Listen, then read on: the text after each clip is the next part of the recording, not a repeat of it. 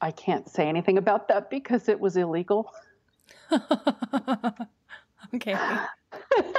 so that's right. I am not ashamed.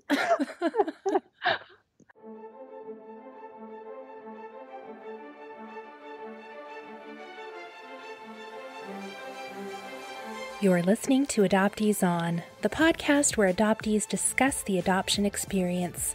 This is season 2, episode 11 Jemma. I'm your host, Haley Radke.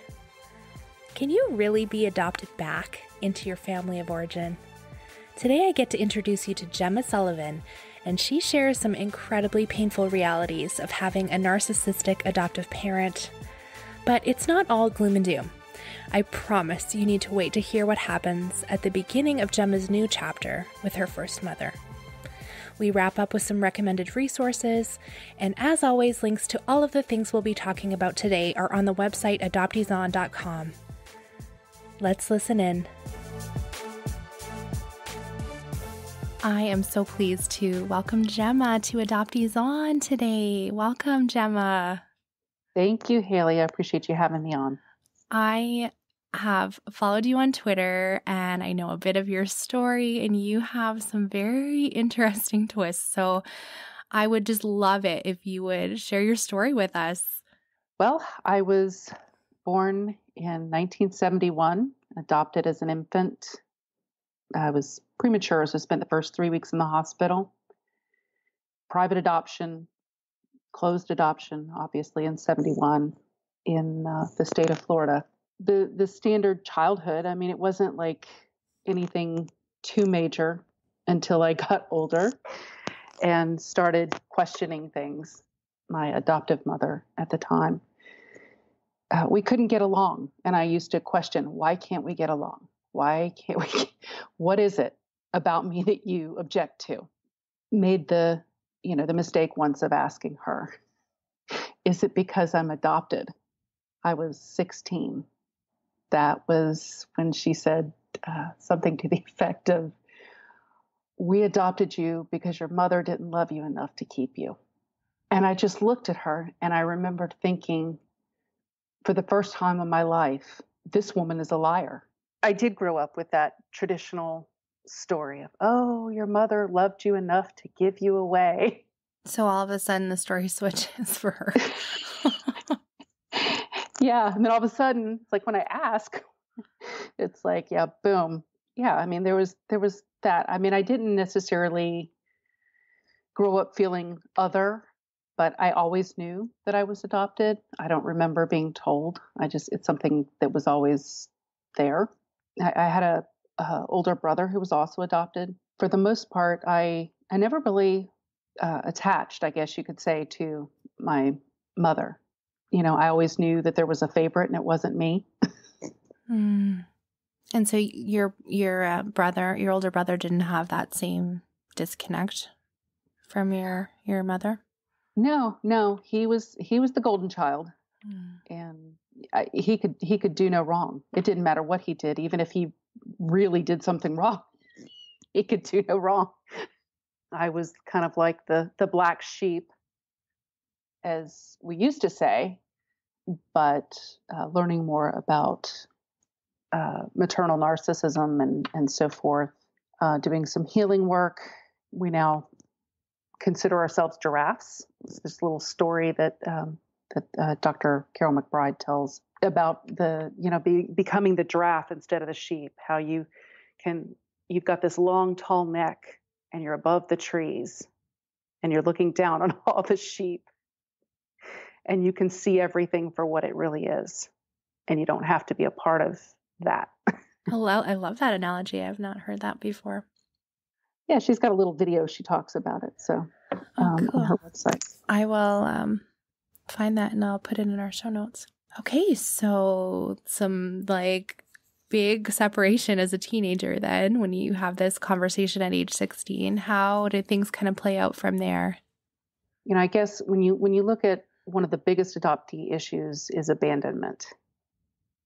And any time in my life when my adoptive parents didn't agree with something, a choice that I was making, it'd be total radio silence. They wouldn't speak to me. And it was usually her. And then he would follow her because he was in this whole, eh, this comes into like a faith thing or religious thing, you know, how you got to stick with your wife. And um, he kind of took it to the extreme. Didn't matter if she was wrong, he was going to back her no matter what. So then I wouldn't hear from them for a while. You're kind of on your own a lot. So when I was, gosh, 21, I got engaged to a guy they didn't approve of. They did everything to foil the wedding. Finally, I just got married without them. Then they confronted me, and I just said, "Guys, you were you were being too difficult. I there was nothing. It wasn't worth it anymore." And uh, they stopped speaking to me about that time. They said, "Okay," clicked, hung up. Didn't hear from them. It had been a couple of weeks, and a little bit before that, I had decided since I was going to be getting married that I wanted to get non identifying information and had written to the state of Florida and got that. I hadn't even thought about doing a search or anything. So I got the information and just before I got married.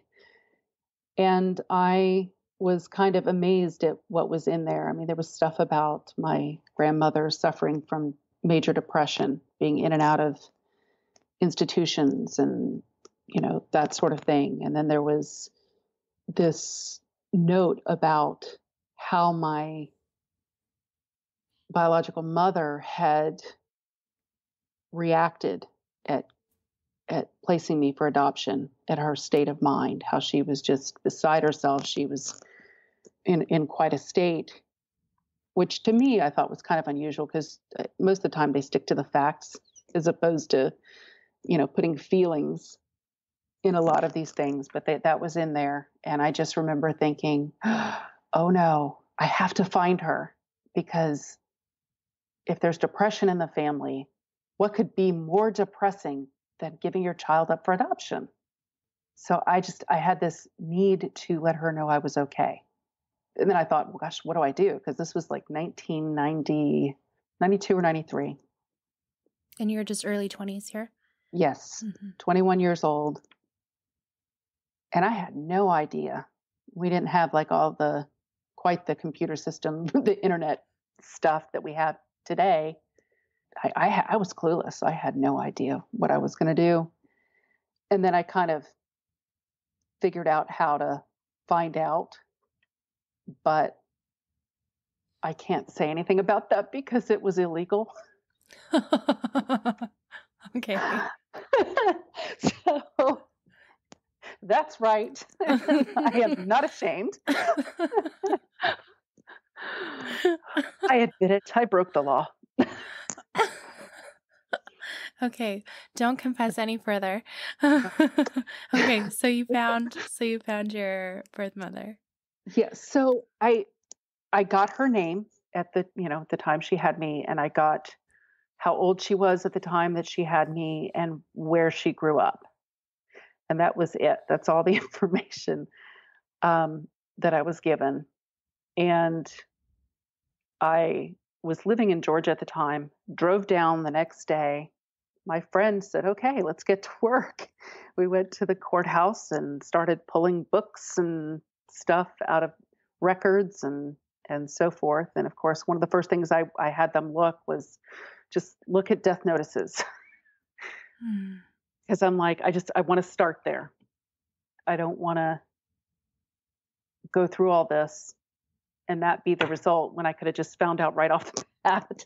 Mm. And so thankfully there was nothing, which was a relief so I, I just kind of kept looking through like the who's who books. They have all these addresses and it's not, not like the phone book or anything, but it does give everybody in the household kind of thing. So I said, uh, said to my friend, I said, I wonder if I should find her this husband. I said, you know, I don't see a divorce decree, but you know, she could filed in another county.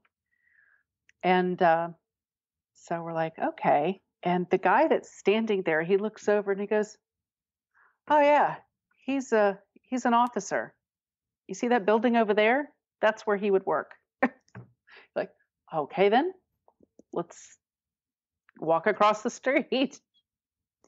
Walked across the street. And of course, they're like, oh, no, he's out of the satellite office today. I'm like, great. Okay.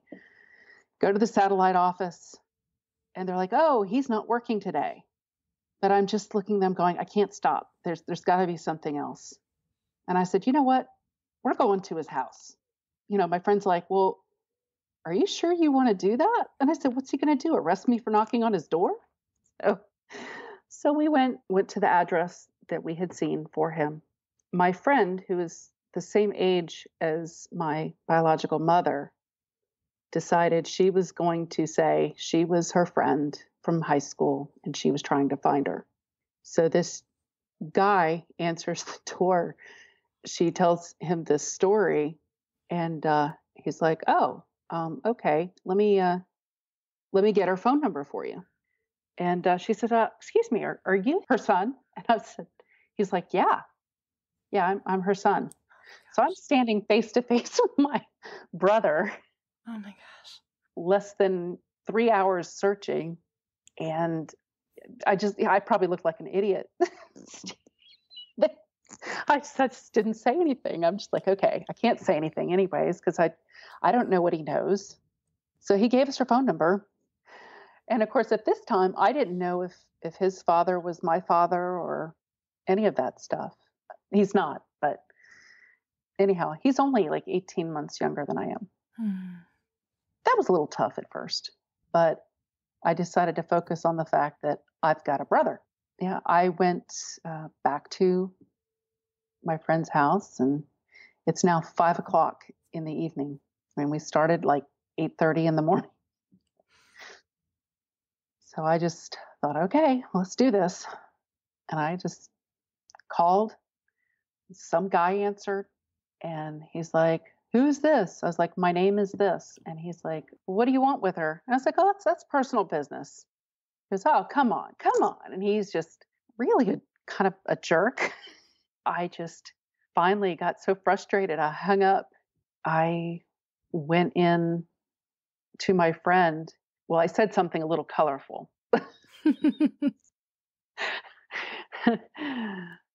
I was, I was crying and I looked at her and she's like, What's wrong? And I'm like, My mom's living with a.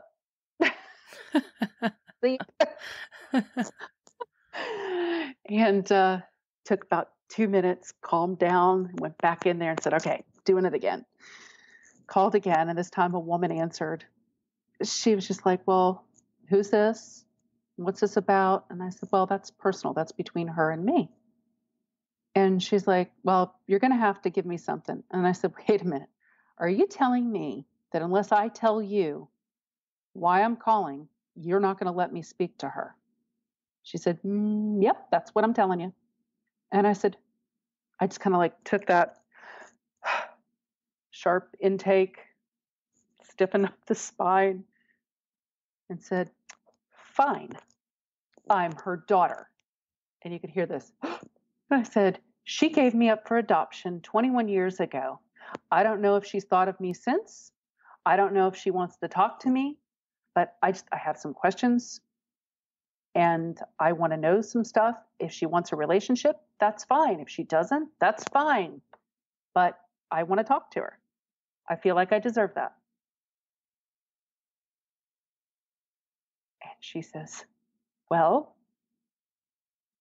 I can tell you for a fact that I know that she wants to speak with you and that she has thought of you very often over the years. I can have her call you at this time tomorrow. She's not available right now, but I can have her call you at this time tomorrow. What's your number?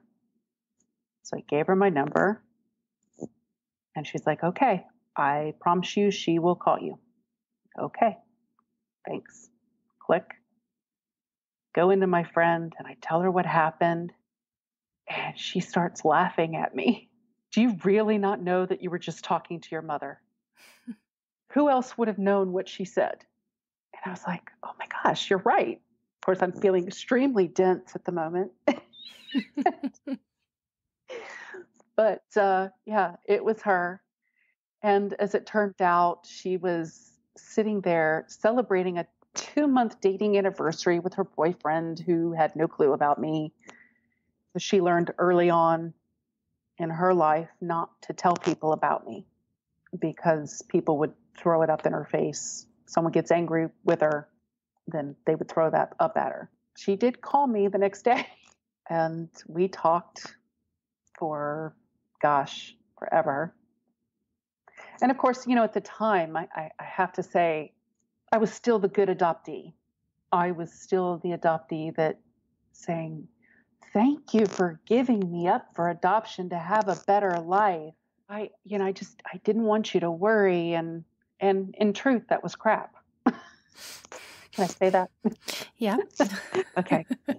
you know, because, it, you know, it's, it's such a lie that we get given up for a better life because they can't promise that. They can promise a different life.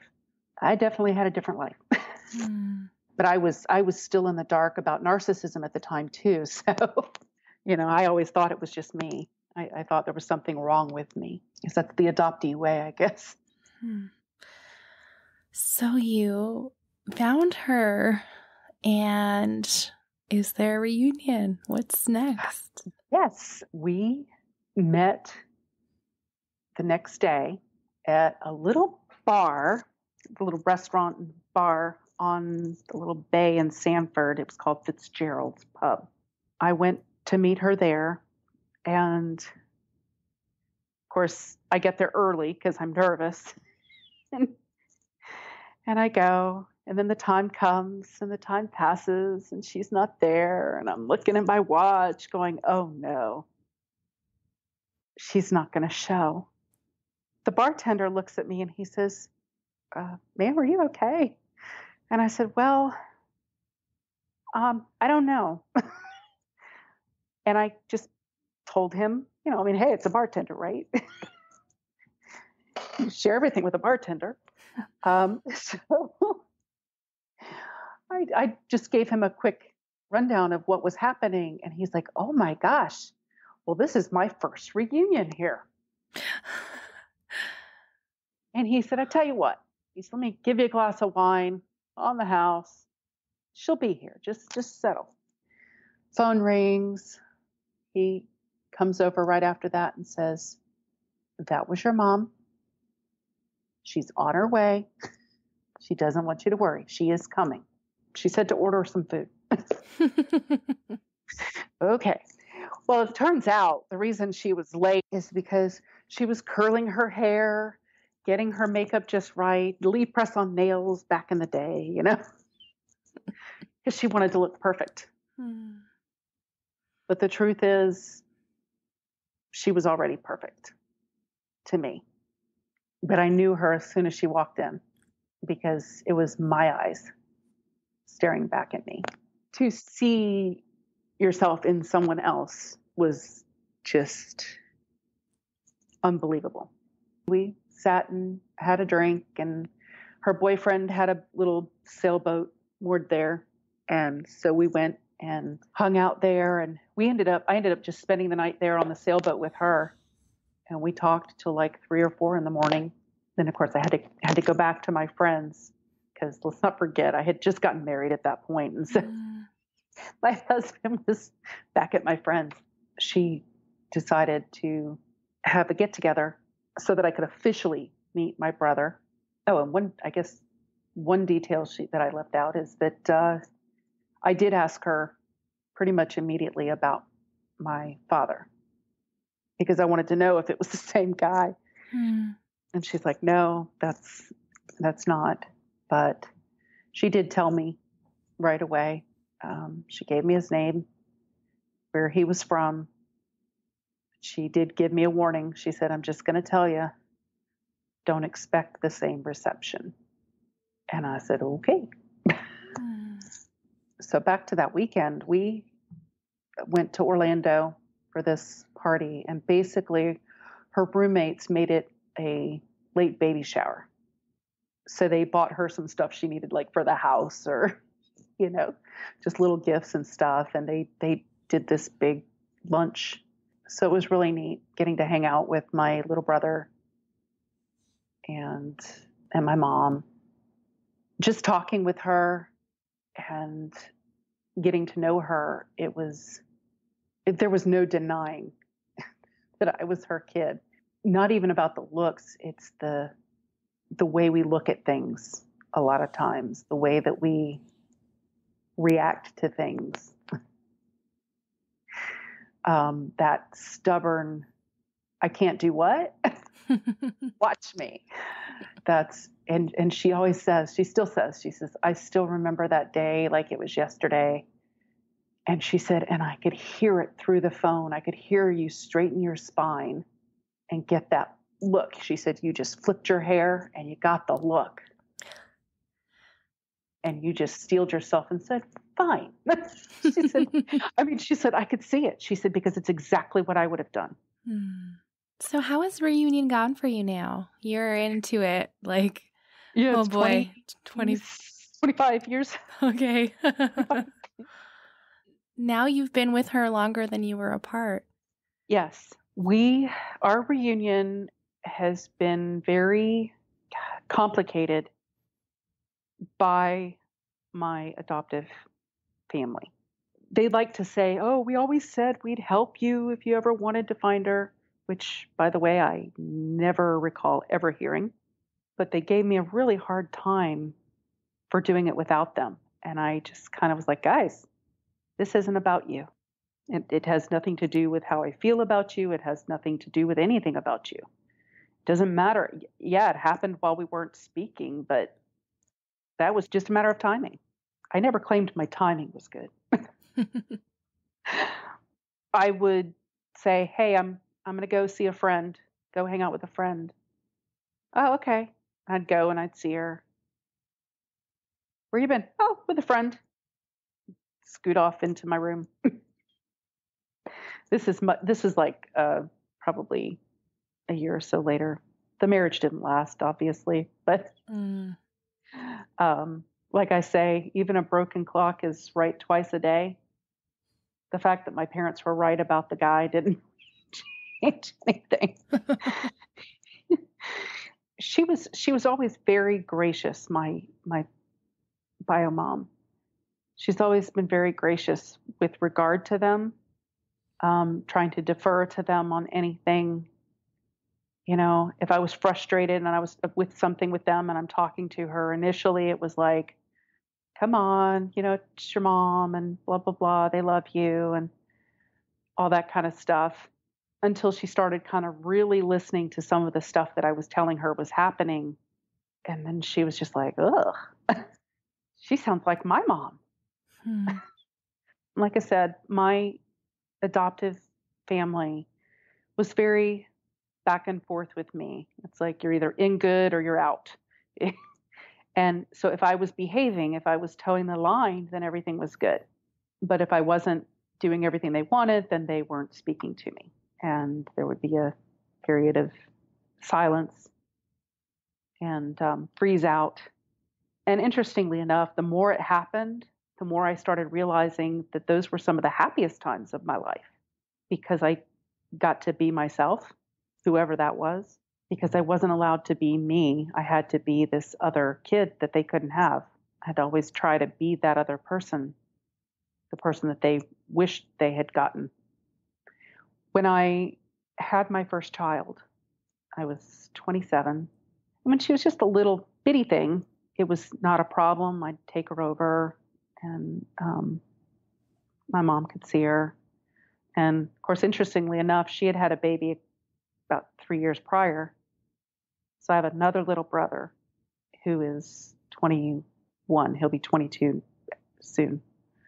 When my daughter started getting to where she was verbal, I had to back off the contact with my mom because I knew, you know, if my daughter said something in front of my adoptive mother, I couldn't handle it if they had treated her the way they treated me and I didn't want her to ever be in that position.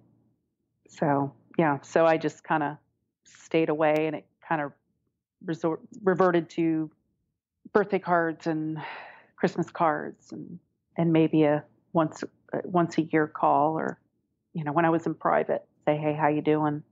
So sadly, I because of that, I also missed out on my brother growing up, you know. And the, and the thing is, my mom was more than happy to share with my adoptive.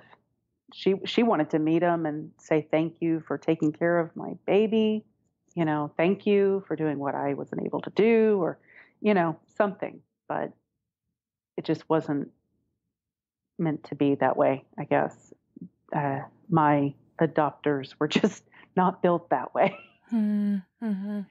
Yeah, so we just kind of uh, were very casual, distant during all of that. And then in 2011, I had one final blowout with my adoptive mother. It basically was her bad mouthing me to my daughter, who was 12 at the time, basically saying what a horrible daughter I am, what a how horrible I was as a teen, which, by the way, I, I really was not. Um, I didn't get into any trouble. It wasn't until I mean, and, and I I confronted her on it a few days after what was I found out what was said. I waited a few days to calm down because while what she had said was bad, I was mostly angry that she said it to my daughter. So that was like a huge, huge thing.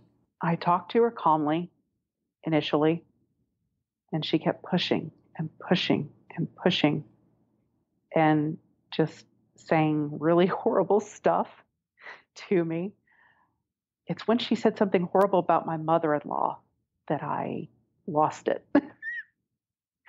because I have an amazing mother in law. Basically, we were, you know, she's like, Well, I'm just going to hang up if, if, you know, if you're, and I'm like, Hey, whoa, if we don't talk this through, then we're done. And she hung up. And I just looked at my mother in law, who happened to be standing there. My mother in law was standing there and she's just kind of looking at me like, oh my goodness. I looked at my husband and I said, okay, then, guess that's that. It was just like 40 years in the making. At that time, I was 40. I was like 40 years in the making. Then a little bit, you know, so then I'm like, okay, I'm going to have to get my daughter in therapy after this because this is this isn't good. so I started her in therapy to get to talk about it because she was having a hard time talking about things and her therapist calls me in to the room says she's got to she needs to talk to you she needs to tell you something. And my daughter proceeds to tell me the big thing that my adopted mother had said that she had held back from telling me up to that point which was that she regretted adopting me. No. that she should have stopped after my brother. Oh my god. And why couldn't she have been my her daughter. Then uh, they they sent my daughter into the little room to play with the kid things, and my her therapist looks at me and gives me that cut it off sign. It's time to cut it off, and that was it. We went no contact with them. Not that they ever abided by it, but they kept kind of doing that. And um, so anyhow, shortly thereafter, that was like in July of 11, and December of 11, my bio mom flew up the day after Christmas to meet her grandkids and to meet my husband. And, you know, and that's the first time I'd seen her in like 20 some years. Mm. It was just amazing. It hadn't skipped a beat since. At first she thought she thought things would go back. She's like, "Oh, you'll go back." And I'm like, "No, I'm done. I'm done." Finally she realized, wow, you're really not going back. I'm like, no, I'm, I told you I'm done. And uh, no, when I say I'm done, I'm done. And she goes, oh, you are my kid. So we just kind of moved on at that point, and and ever since that, uh, we we go down and you know hang out every Fourth of July with them, and mm. do, we're doing like these these big things, you know, and and they came up my one brother came up with her at Christmas a couple years ago, and so that was really kind of a cool thing. And then, uh, like I said, my adopters were not respecting our wishes for no contact, such that I live in Pennsylvania. They live in Florida. they boarded a plane and showed up at my door. No. Yes. And it just happened to be that my daughter was doing an online school program. So she was home. My son was home sick. So I had both kids there at the house, and they show up at the door unannounced. I, I knew I wasn't expecting anybody. So I didn't just open the door, I looked out the side light and saw a car I didn't recognize. Looked a little further over and looked right in her eyes and shook my head no and walked away. And they kept knocking for a little bit and they started walking all around the property trying to look in the windows, walking on the deck. but I had everything closed up so they couldn't see in. So there was that. That was fun. And I started we started noticing then that our daughter started having like like very big reactions to them. Like physical, like just shaking and and stuff. And it was just it's like, oh, we waited too long. We should have done this sooner. but probably a couple of springs ago, I'm a March baby, which, by the way, I was born March 20th, but the state of Florida changed my birth date to the 21st. So for 46 years, I've celebrated the 21st. And I just got it changed back, but I'll, we'll get there. Um, but yeah, so March, some flowers arrived with this card that just says, We'll always love you. And they didn't even sign it. I don't, it just, that, that exact moment, it just hit me. They're never going to stop. And why am I so worried about their feelings when they don't even care about mine? And I just said, you know what? I need to do some self care here. and what I need is to be with my mom. And I called her and said, Mom, it's time. And she said, Time for what? I said, Time for you to adopt me back. She said, Okay. she said, I'm good with that. and my brothers were good with it. And my husband was good with it. I, I mean, I had been wanting to do a name change because I'd always hated my former name. But, and I was going to do the name change. And I'd been talking about that for years. And then I finally just said, no, I'm not stopping at that. my mom adopted me. So, hey, go big or go home. Okay. I did not even know this was a thing. So tell me all about it. okay. It is a process called adult adoption. I don't know how many states or countries have this, but Florida does. It is a process that was initially done to allow for children who have aged out of the system, uh, child welfare system, to be able to have a family. Like if they find someone later, a family that they click with, that they could still have that pathway to a family. And so that's what the law was created for. But I looked at the, the you know, all the little things and I said, hmm, that works. Doesn't say I, you have to be in the system. Doesn't say you have to be a foster kid. So I called an attorney and that was the thing. And um, basically, it's it's a thing where they they terminate the rights of the former parents, and in most in and in every other case that they've had, whatever cases they've had, it's been the biological parents. Mm. In my case, it was adoptive parents. And uh, let me tell you, the judge was looking really confused for, for a little moment when we went to court. It was like he was kind of looking around, going, "Okay, wait, who's who?" mm-hmm. this yeah. So we we filed. We started with the attorney like in April of 16, and then we went to court a couple months ago. Finally. So early in 2017. Yes. So. So you're officially her daughter again. Yes. And does that mean like you get all the rights that go along with that? Yes. Yeah. Wow. Yep just as if she was anybody adopting anybody. I mean, it was, and that's, I mean, it's even as it, the the wording. I mean, it's funny. It's like, as if she were born to you, and I just laugh because I'm like, because uh, I was. wow. it was it was kind of um, kind of funny, but it has its own challenges because I'm twice adopted, twice sealed Mm. now in terms of records. Mm-hmm.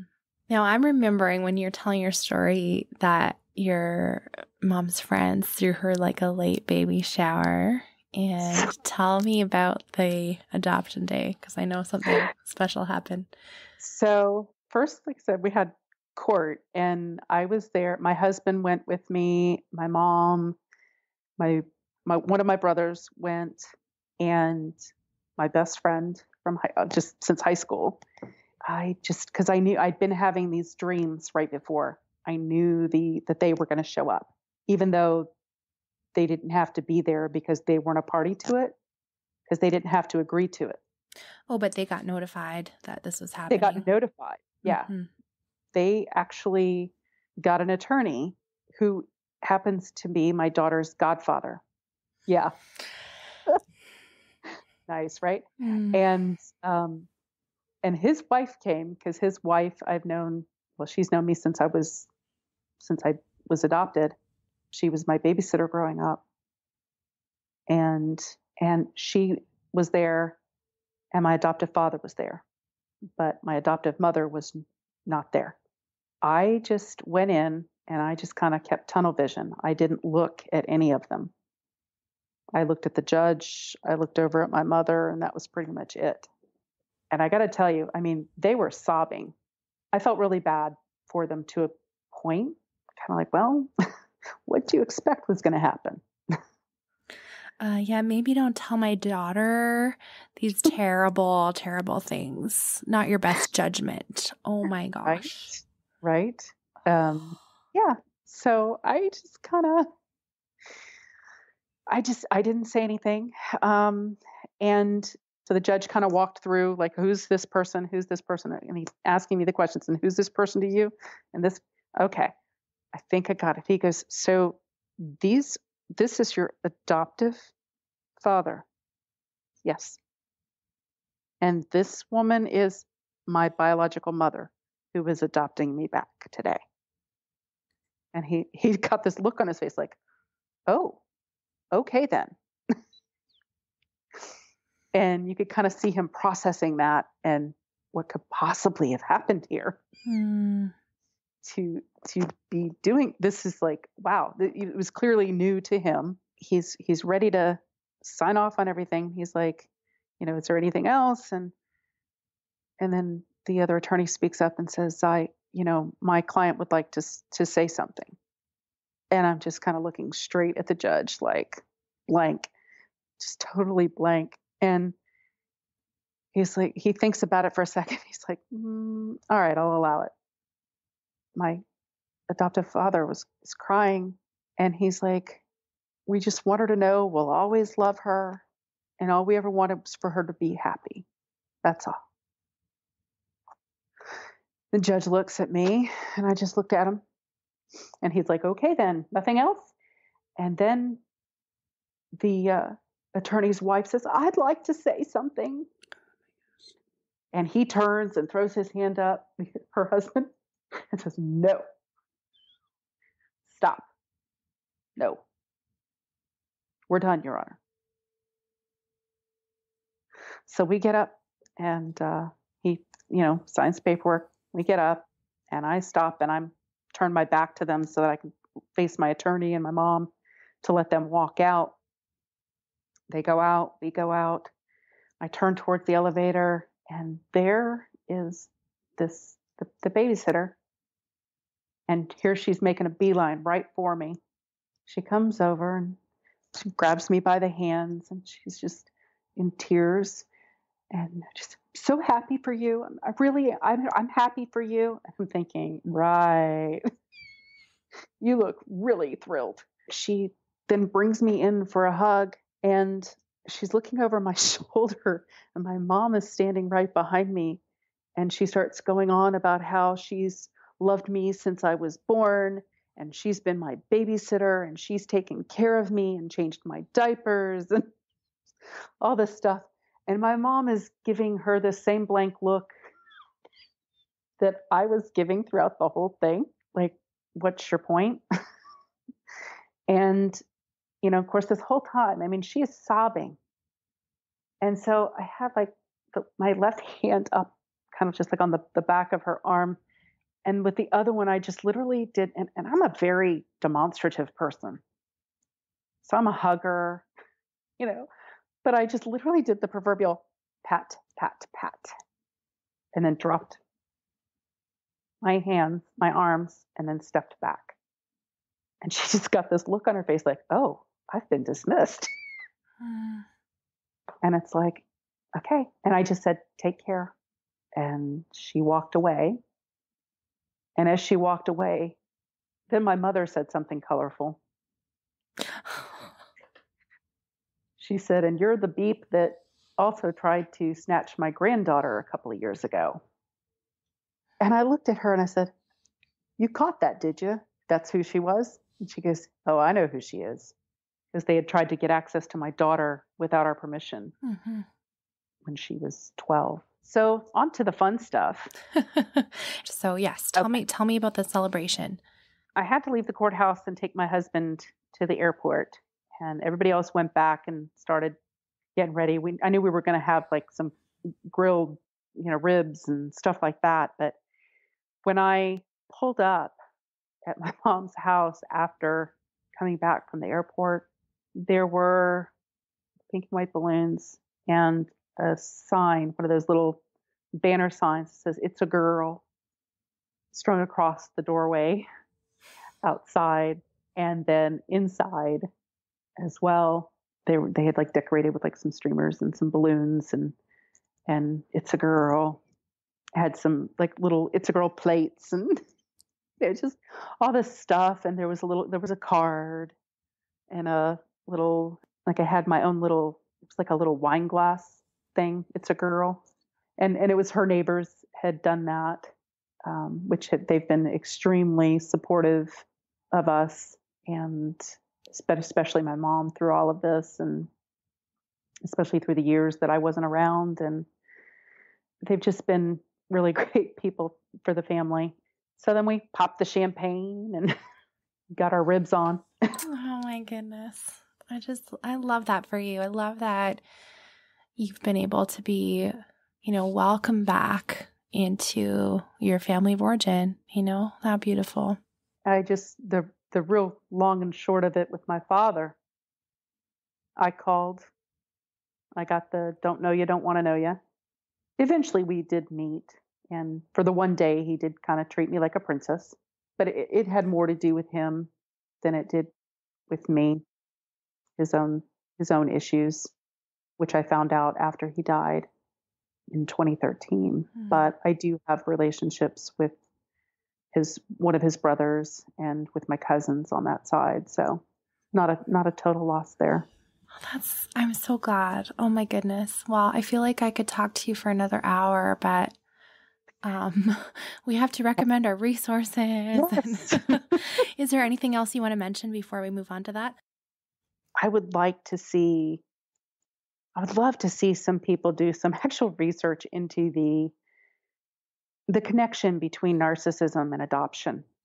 Because I just I feel like I have met so many adoptees that have one or more narcissistic parents or with some serious narcissistic traits that it, it's it can't be a coincidence that that there's that many. And a lot of the you know the same thing they have to go no contact because it's just so toxic and mm-hmm. um and so i just i would i would really like to see somebody really do some more research into that because i just i think we're as adoptees with all the stuff that we get told growing up and you know, be grateful and all of that stuff, we really are groomed in, in a lot of ways to be targets for a narcissist. Yeah, it I, I agree. It is so common and we've even talked about it on the show before. Good thoughts, good thoughts.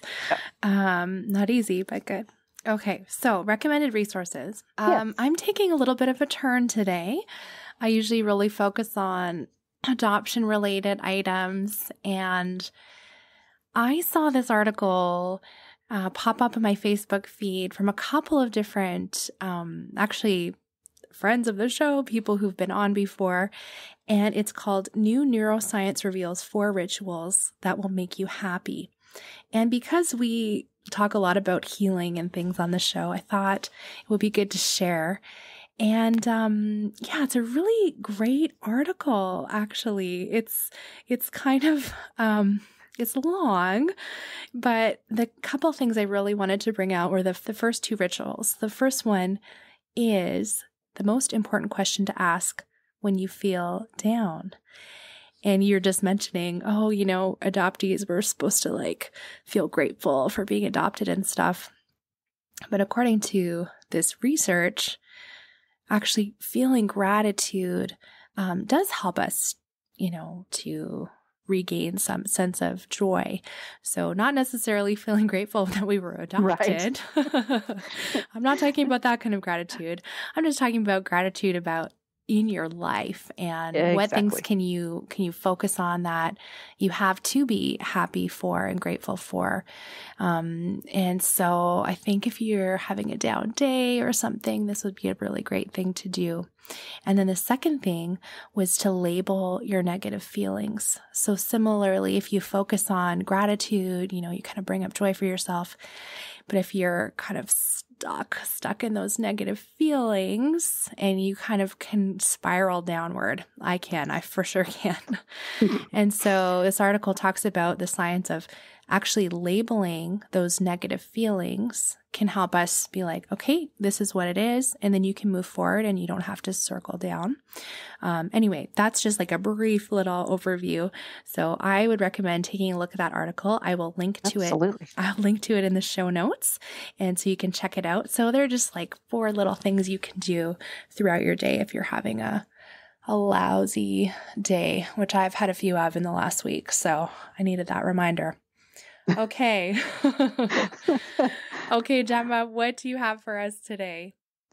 Okay. Well, the first one's one that you guys have talked about plenty. It's The Primal Wound by Nancy Newton Verrier. I haven't even finished it yet, but it was so profound to me the um, that trauma, like that real trauma aspect, and, and acknowledging that. And um, I just think that it's it's a read for not just for adoptees, but for anybody who loves an adoptee mm-hmm. or knows an adoptee. I, I, think it should just be required reading. Yeah. yeah, I agree. Um, yeah. And then, kind of hand in hand with that, is there is a, a counselor, Julie Alvarado. Um, she does some public speaking and stuff, and she it's about trauma informed care and I was recently at one of her conferences, and it was phenomenal talking about the different stages, like that in your life when you can experience trauma. The first being pre birth, at birth, and then, you know, like immediately after birth, and, uh, you know, so on and so forth. And talking about the neuroscience aspect of how that affects your brain mm-hmm. and the mm-hmm. chemical makeup of your brain and what it what it does and how it puts us in a kind of a you puts you in a feedback loop um, between three parts of the brain that has to get interrupted to get stopped mm. and to back out of that trauma. And and so we react based on those traumas and we're in that fight flight or freeze.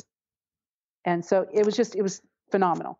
She's uh, someone to look up and it's j-u-l-i Alvarado, A L V A R A D O. And she's on Facebook.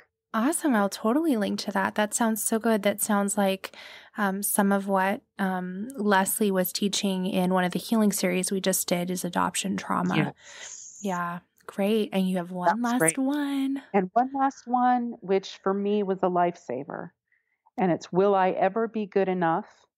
Healing the Daughters of Narcissistic Mothers by Dr. Karyl McBride. And I've actually been to her one of her seminars as well to work through the the book in as a, a healing thing. And it's just basically it's a healing manual. It talks about recognizing the stuff, what you can do, and and different things that you can do to work through the the trauma of that and of, of being exposed to narcissism, it's it was a lifesaver for me because it it literally got me past thinking everything was my fault and it was all me. It was okay to go, no, it really is her. hmm. It really is her. Yeah. yeah. And, you know, and it's so sad that it had to take so very long for you and it had to be your daughter to be injured, you know? Yes. Um, so I'm sorry that happened. And I'm, I'm so grateful you, you, um, you know, are recommending that book because I'm sure there's um, a lot of us listening that can identify with some of those qualities in our adoptive parents. And uh, you gotta put yourself and your family first, no matter what is happening for them. Absolutely. Oh my goodness. Absolutely. Oh, Jemma, I just want to thank you so much for sharing with us. Um, oh, thank you for having me. Yeah. If now, if anyone has questions about your story, they want to hear more, how can they connect with you online? They can connect with me on Twitter. So your Twitter handle is J underscore R underscore Sullivan. Yes, that's it. All right. So we can look you up on Twitter, which is my favorite place to be online. Wonderful. Thanks again for sharing your story. I I wonder if it will inspire some people to be adopted back. yeah, I've uh, I've had a couple of conversations. so it it may be who knows? Maybe, maybe the next thing. okay, well, if if Jemma has inspired you to uh, look into adult adoption, please come and let her know.